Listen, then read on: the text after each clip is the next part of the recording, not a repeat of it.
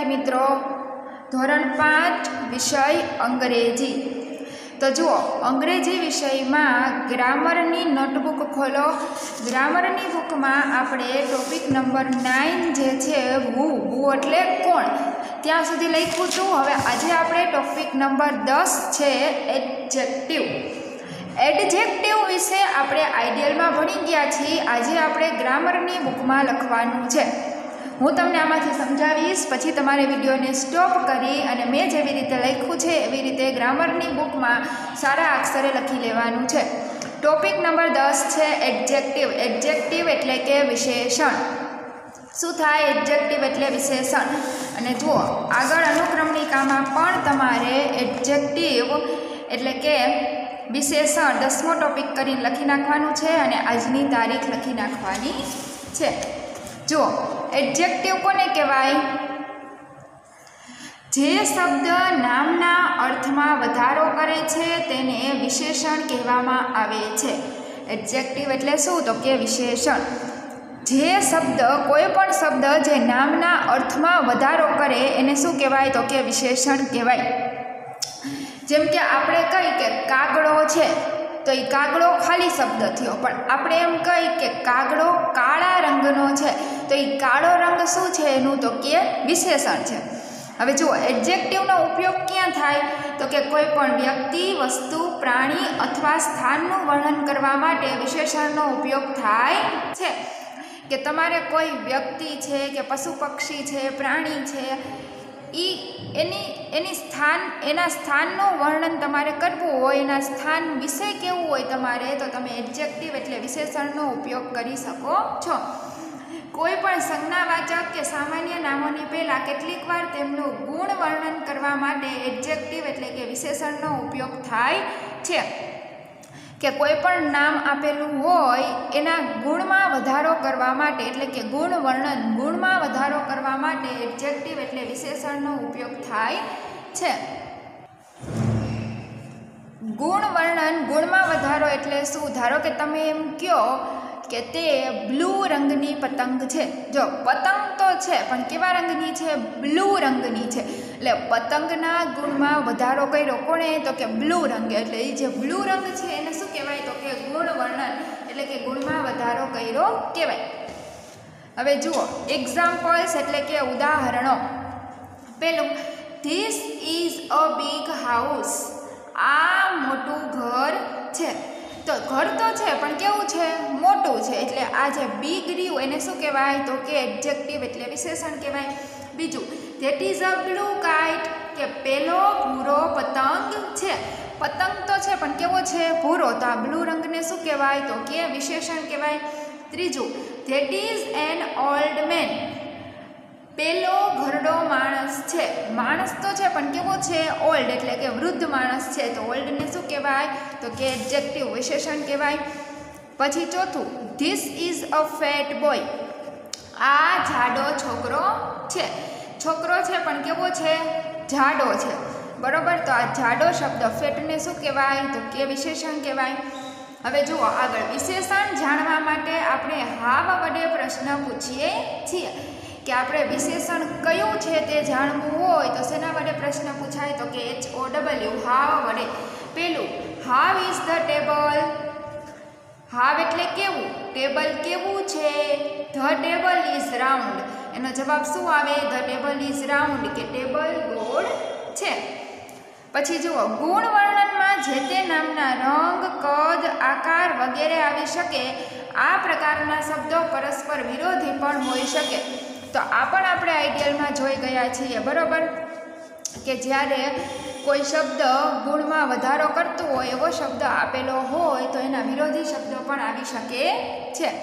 એમાં રંગ હોય, કદ હોય, આકાર હોય વગેરે પણ આપણે આપેલું હોય છે. જુઓ. ટોલ ટોલ એટલે ઊંચું તો એનું વિરોધી થશે સોલ્ટ સોલ્ટ એટલે ટૂંકું. બિગ બિગ એટલે મોટું, તો સ્મોલ સ્મોલ એટલે નાનું. ક્લીન ક્લીન એટલે ચોખ્ખું, તો ડર્ટી ડર્ટી એટલે ગંદુ. યંગ યંગ એટલે યુવાન, તો ઓલ્ડ ઓલ્ડ એટલે વૃદ્ધ. થીન થીન એટલે પાતળું, તો થીક થીક એટલે જાડું. હેપી હેપી એટલે ખુશ, તો સેડ એટલે ઉદાસ. હવે જુઓ, એના એક્ઝામ્પલ આપેલા છે.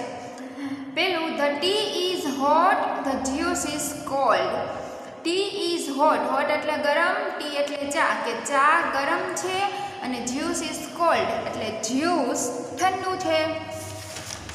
જુઓ, પછી શું કીધું? આપણે રંગોનો ઉપયોગ વિશેષણ તરીકે કરી શકીએ છીએ. જુઓ, કોઈ પણ આકાર છે, કદ છે, રંગ છે, એ બધાયનો ઉપયોગ વિશેષણ તરીકે થાય. તો એના એક્ઝામ્પલ્સ એટલે ઉદાહરણોમાં શું આવશે તો કે પેલું ધ ક્રો ઇઝ બ્લેક કે કાગડો કાળા રંગનો છે. તો આ કાળો રંગ બ્લેક શું છે? તો કે વિશેષણ. બીજું ધ સ્વાન ઇઝ વ્હાઇટ કે હંસ સફેદ છે. તો સફેદ શું છે એમાં? તો કે વિશેષણ છે. ત્રીજું બનાના ઇઝ યલો કે કેળું પીળા રંગનું છે. તો આ યલો શબ્દ રહ્યો. યલો રંગી શું છે? તો કે વિશેષણ છે. તો આ ટોપિક જે એડજેક્ટિવ એ તમારે સારા અક્ષરે ગ્રામરની બુકમાં લખી લેવાનો છે અને પછી જ્યારે સંતરાત પરીક્ષા હોય ત્યારે એમાંથી વાંચવાનું છે. એટલે વ્યવસ્થિત રીતે લખજો. હવે ચાલો. પાઠ્યપુસ્તક ખોલો. પાઠ્યપુસ્તકમાં આપણે પેજ નંબર એકતાલીસ સુધી જોઈ ગયા હતા. હવે આજે આપણે પેજ નંબર બેતાલીસ એક્ટિવિટી ફોર સી ત્યાંથી આગળ જોઈશું. પેલું, તમારા શિક્ષકની મદદથી વન મેની પ્રવૃત્તિ કરો, તે પછી નીચેના વાક્યો ધ્યાનથી વાંચો. આપેલ ખાનામાં ઉદાહરણ પ્રમાણે ચિત્ર દોરો. વન મેની પ્રવૃત્તિ એટલે શું? વન એટલે એક ને મેની એટલે ઘણા બધા. એટલે પહેલાં એક ચિત્ર દોરવાનું અને પછી ઘણા બધા ચિત્ર દોરવાના એમ. જુઓ, એક એક્ઝામ્પલ આપેલું છે. ધીસ ઇઝ અ ફ્લાવર અહીં એક જ ફૂલ છે, તો એના માટે આપણે શું લખી શકીએ? ધીસ ઇઝ અ ફ્લાવર આ ફૂલ છે. પછી આમાં જુઓ. એક, બે અને ત્રણ. ત્રણ ફૂલ છે. તો એના માટે શું લખાય? તો કે ધીસ આર ફ્લાવર્સ એટલે શું થઈ ગયું? તો કે બહુવચન થઈ ગયું. સમજાણું? એક વચન એક ફૂલ માટે કેવું હોય તો ધીસ આવે. બહુવચન માટે એક, બે, ત્રણ, એક કરતાં વધુ વસ્તુ માટે આપણે કેવું હોય તો ધીસ આર આવે. ધીસનું બહુવચન શું થાય? આ ધીસ. જુઓ, this, T T H I S. ધીસનું બહુવચન શું થાય? તો કે T H E S E. This. અને ઇઝનું બહુવચન શું થાય? તો કે એ આર ઈ આર. કોઈ એક વસ્તુ માટે તમે વાક્ય બનાવતા હોય ત્યારે ધીસ ઇઝ આવે અને એક કરતાં વધુ વસ્તુ હોય, બહુવચન હોય તો શું આવશે? તો કે ધીસ આર આવશે. આના વિશે પણ આપણે ગ્રામરના ટોપિકમાં લખીશું કે ધીસ, ધેટ, ધીસ. તો ધીસ ઇઝ અ ફ્લાવર અને ધીસ આર ફ્લાવર્સ. જુઓ, પાછળ એસ લાગ્યો એટલે બહુવચન થઈ ગયું. પછી બીજામાં, જો અહીં મેં જેવા ચિત્ર દોર્યા છે, એવા તમારે તમારી પાઠ્યપુસ્તકમાં દોરવાના છે, હો. ઇટ ઇઝ અ ફ્રોગ કે તે ડેટકો છે. શું કીધું? અહીં એક જ ડેટકો છે તો લખ્યું કે તે ડેટકો છે. પછી આપણે અહીં બે ડેટકા દોર્યા તો એના માટે શું લખ્યું? તો કે ધીસ આર ફ્રોક્સ કે આ ડેટકાઓ છે. શું? કે આ ડેટકાઓ છે. કેમ કે બે ડેટકા છે. પછી ત્રીજું. અહીં તમને એક વાક્ય આપેલું છે કે ધીસ આર નાઇન કાઇટ્સ કે અહીં નવ પતંગો છે. તો આપણે નવ પતંગ દોરી. જુઓ, એક, બે, ત્રણ, ચાર, પાંચ, છ, સાત, આઠ, નવ. નવ પતંગ દોરી. તો બાજુમાં પછી એક પતંગ દોરવાની ખાલી કે. તો પછી એક પતંગ માટે શું લખી શકીએ? તો ધીસ ઇઝ અ કાઇટ કે આ પતંગ છે. જુઓ, બધાયમાં એમ જ કરવાનું છે. એકમાં એક દોરવાનું અને બાકીમાં થોડાક વધારે દોરવાના. આમાં એક ડેટકો દોર્યો, આમાં બે ડેટકા દોર્યા. આમાં નવ પતંગ હતી, આમાં એક પતંગ દોરી. હવે આમાં એક ચોકલેટ દોરી, આમાં બે ચોકલેટ દોરી. શું કીધું? ધીસ ઇઝ અ ચોકલેટ આ ચોકલેટ છે. ચોકલેટ દોરી અને કીધું કે ધીસ ઇઝ અ ચોકલેટ આ ચોકલેટ છે. તો અહીં બે ચોકલેટ દોરી. તો એના માટે આપણે શું લખી શકીએ? તો કે ધીસ આર ચોકલેટ્સ લખો. This are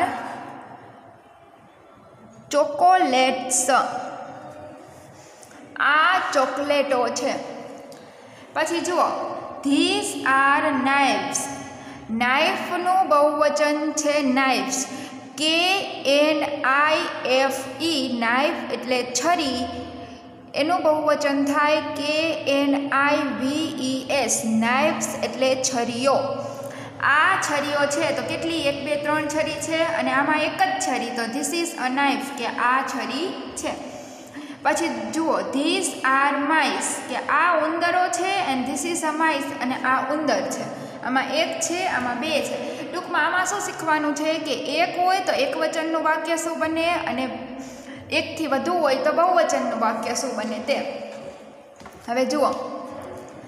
એક્ટિવિટી ફાઇવ એ નીચેના વિધાનો ખરા છે કે ખોટા તે કહો. પેલું the balloon man is near the ice cream stall કે ફુગાવાળો માણસ આઈસ્ક્રીમ સ્ટોલની બાજુમાં ઊભો છે. આ શેના ઉપરથી છે? તો કે આપણે જ્યાં એક્ટિવિટી શીખી ગયા ને અ લવલી ફેર જે એક્ટિવિટી શીખા, એની ઉપરથી આપણે આ ખરા ખોટા પૂછેલા છે. તો ફુગાવાળો માણસ આઈસ્ક્રીમ સ્ટોલની બાજુમાં હતો, યાદ કરો જોઈ તો કે ના નહોતો. ફુગાવાળો માણસ ચાની દુકાન, એટલે કે ટી સ્ટોલની બાજુમાં હતો. એટલે આમાં શું આવશે? ખોટું. Merry go round is huge. કે મેરીગો રાઉન્ડ મોટું છે? તો કે ના. મેરીગો રાઉન્ડ મોટું નહોતું, એ તો નાનું હતું. એટલે શું આવશે? ખોટું. An ice cream stall is under the tree. કે શું આઈસ્ક્રીમની દુકાન ઝાડની નીચે હતી? તો કે હા, સાચું, ઝાડની નીચે હતી. A rope walker is on the rope. કે રોપ વોકર દોરડા ઉપર ચાલવાવાળી ગર્લ હતી દોરડા ઉપર ઊભી હતી તો કે હા, સાચું. પાંચમું the bottles are on the box કે જે બોટલો હતી એ બોક્સની ઉપર હતી? તો કે ખોટું. બોટલો ક્યાં હતી? જુઓ જો એ બોટલો ટેબલ ઉપર હતી. બોક્સમાં નહોતી, એટલે શું આવશે આમાં? તો કે ખોટું. હવે જુઓ, બાજુમાં એક્ટિવિટી ફાઇવ બી છ મિત્રોના બે જૂથ બનાવો, એક જૂથ એના વાક્યોની ચિઠ્ઠી બનાવી લે, બીજું જૂથ બીના વાક્યોની ચિઠ્ઠી બનાવી લે. હવે બંને જૂથ પોતાના જોડીદાર શોધે. જોડી બન્યા પછી બંને પોતાનું વાક્ય વર્ગ સમક્ષ રજૂ કરે, નીચેના વાક્ય જોડો. આમાં જોડી બનાવવાની છે, પરંતુ આપણે તો ઓનલાઈન શિક્ષણ છે એટલે જોડી બનાવી શકીશું નહીં. તો ચાલો એમને જોડી દઈએ. જુઓ. એ ધ બલૂન મેન ઇઝ શું આવશે? તો કે near the tea stall balloon man ક્યાં હતો? તો કે ટી સ્ટોલની બાજુમાં હતો. બીજું, અને અહીં લખતું જવાનું હો, જો એક આપ્યું છે the balloon man is near the tea stall પછી બીજું શું જોયું the giant wheel is near the merry go round કે મોટું ચકડોળ હતું એ મેરીગો રાઉન્ડની બાજુમાં હતું. તો આ બંને વાક્યોને ભેગા કરીને નહીં લખવાનું. જુઓ પેલું લખ્યું the giant wheel is near the merry go round પછી ત્રીજું the ice cream stall is under the tree કે આઈસ્ક્રીમની દુકાન ઝાડની નીચે હતી. તો લખો the ice cream stall is under the tree પછી rope walker is on the rope તો નીચે વાક્ય આવશે a rope walker is on the rope પછી શું છે? The bottles are on the table કે બોટલ્સ ટેબલ ઉપર હતી. તો એ વાક્ય નીચે આખું લખવાનું the bottles are on the table પછી જુઓ the box is in the juggler's hand કે બોક્સ જાદુગરના હાથમાં હતું. The box is in the juggler's hand તો આવી રીતે તમારે આ એક, બે, ત્રણ, ચાર ને પાંચ, પાંચે પાંચ જોડી અને નીચે પાંચ વાક્ય લખવાના છે. હા, તો આટલું તમારી પાઠ્યપુસ્તકમાં પૂરી લેજો. હવે પછીના નેક્સ્ટ વિડીયોમાં આપણે શું? તો કે ગ્રામરમાં ધીસ ધેટ ધીસ, ધોસ. તેનો અભ્યાસ કરીશું અને પછી આઈડિયલની બુકમાં આગળ પૂરીશું. ધન્યવાદ.